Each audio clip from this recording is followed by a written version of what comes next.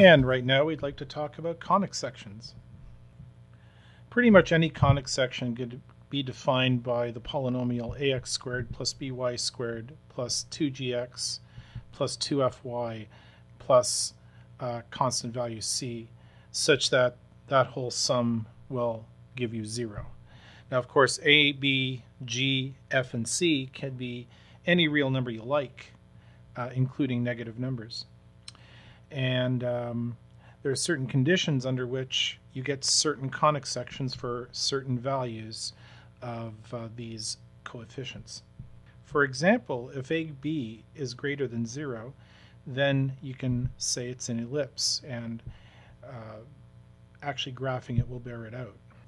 If AB equals 0, then it's a parabola. That means that either x squared or y squared has a coefficient on it of 0. We don't want a and b to both be 0, but one of them has to be 0. So um, now if AB is less than 0, uh, in other words, if either A or B are happen to be negative, then we have a hyperbola.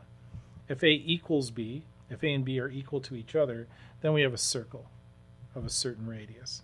So that's a little bit important. We'll be able to just stick that in a box.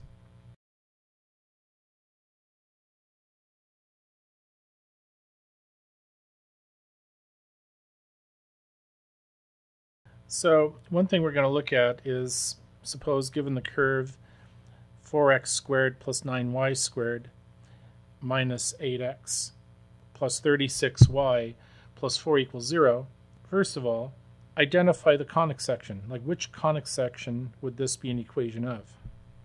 Secondly, whichever one it is, convert it to the standard form for that conic section. And lastly, state the parent. So we see that a equals 4 and b equals 9. a and b are not equal to each other, so that rules out a circle. We also have 4 times 9 is 36. 36 is greater than 0, so then we conclude it's an ellipse. Now, in order to convert to standard form, uh, you have to complete the square. But it's a little bit more than that because there's actually two squares to complete. There's a square in terms of y and another square in terms of x. So both of those have to be completed separately. So I have here 4x squared minus 8x plus 4, and we can consider that to be a perfect square trinomial. In fact, just for completeness, we'll factor out the 4 and as for the 9y squared plus 36, you can factor out the 9 because 9 goes into 36 and 9. And you end up with y squared plus 4y. Well, we've already completed the first square in terms of x. x squared minus 2x plus 1 is just x minus 1 quantity squared. You can check that by expansion. Now to complete the square for x oh, y squared plus 4y, we add 4. But in order to do that, we have to take away 4. But wait a minute. The 4 is inside a bracket, which is multiplied by 9. So we really have to take away 4 times 9. And um, the way I've done it, because uh, we're working across the equal sign, rather than taking away from the same side of the equation, I added to opposite sides of the equation. So I added 36 to one side because of 9 times 4.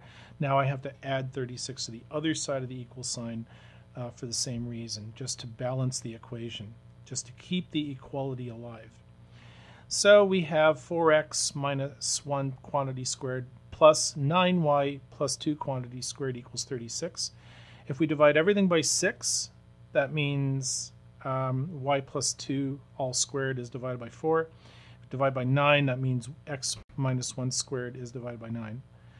Um, and 36, well, 36 divided by 9 times 4, or 4 times 9, is going to be 1, because it ends up being 36 divided by 36.